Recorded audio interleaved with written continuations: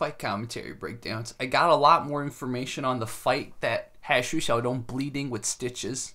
So what happened was he actually went ahead of time and let them know three days in advance he just wanted to spar with the best of the best. So it wasn't like he went to challenge them, and I never implied that in my videos. I didn't know why he was fighting them, but what Xu Xiaodong said, and I can translate the full interview if you want to, is that he just wanted to go test out one of the best MMA places. So he was actually supposed to fight five people, and so the guy that destroyed him was the fourth guy, I believe. So this is actually the full sparring footage that I could find. Check this out. This is the first guy he found.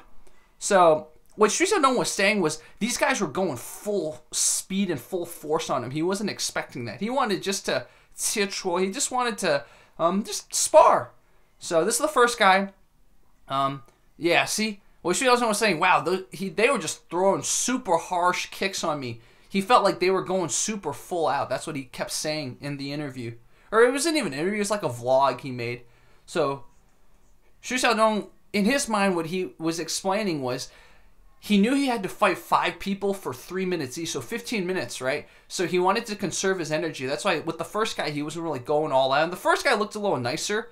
So the second guy. And I don't see what Xiaodong's saying about how these guys were, were fighting him like they were actually in the ring. It seems like a spar session. Xiaodong, if you hear his reflection, what Xiaodong was saying was that these guys were hitting him like they wanted to kill him. It doesn't look like it. At least the first and second guy looks like regular sparring. So it's really cool to see Xiaodong's MMA kind of. And what Xu Xiaodong was also saying strategy wise was he just wanted to block, evade, and then fight. So he wasn't gonna purposefully be the one to attack. He wanted to defend and counter hit. That was his strategy. This is the third guy.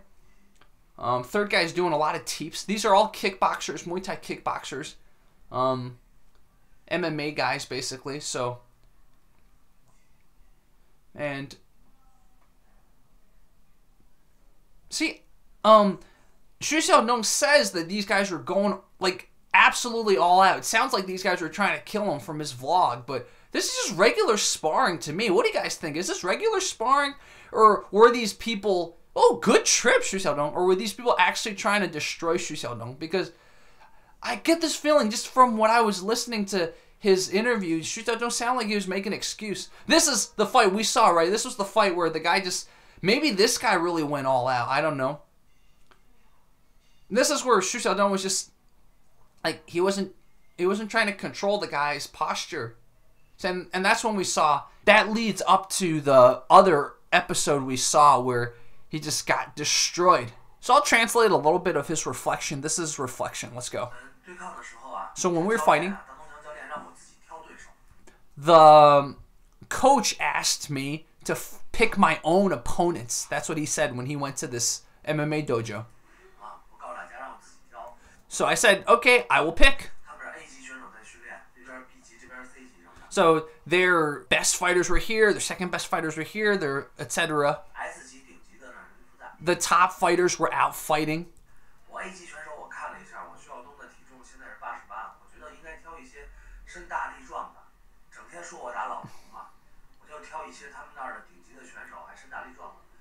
I looked at the best fighters who were in the dojo at the time and I said let's pick the big ones. Like let's pick the strong ones because everyone keeps saying I pick on old people. I, I pick on weak people.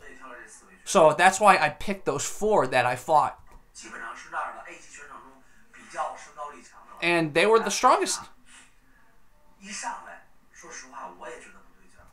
So the moment that we started, I felt like something was wrong. These kids were just like giving it their all. But I feel like there's nothing wrong with that.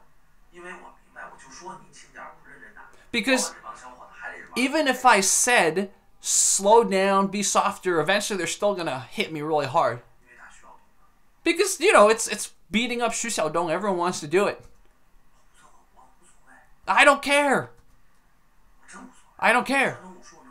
You know, if traditional martial arts can beat me the way that these MMA fighters did, then I'd be so happy. So when I was fighting the first person, I felt like he used a lot of good power. But I was like, no, I can I can take it. I feel like they had good strategy, good tactics. And I didn't have much time to counter punch or counter hit. You know, I knew I had to conserve my energy. So I had to defend and then counter hit. And they just really wanted to hit me. I, they were hitting me with all their strength. I, I, can't watch any more of this. I'm sorry, but this is just Xu Xiaodong make any excuses. Like, um, maybe the last person, but like, is this really like I feel like this is just a spar session, man. Like Xu Xiaodong hitting them equally hard. What are you talking about? Like they they're using all their power to hit you. It doesn't look like it. Like this is sparring, dude. What are you talking about? Okay, guys, I'm just gonna end it here. I feel like Xu Xiaodong's making excuses. I mean, what we do understand from this reflection is that it's not like he went to say, "You guys are full of shit. Fight me." They talked about it in advance, and there it wasn't like he was being rude. But I feel like he's making an excuse. It looks like it was a sparring session. He bit off more than he can chew. He got destroyed, and now he's saying, "Oh, these kids are just not respecting an older brother." It seems like that's what he's saying. Let me know if that's what you think. This was Fight Commentary Breakdowns. Out.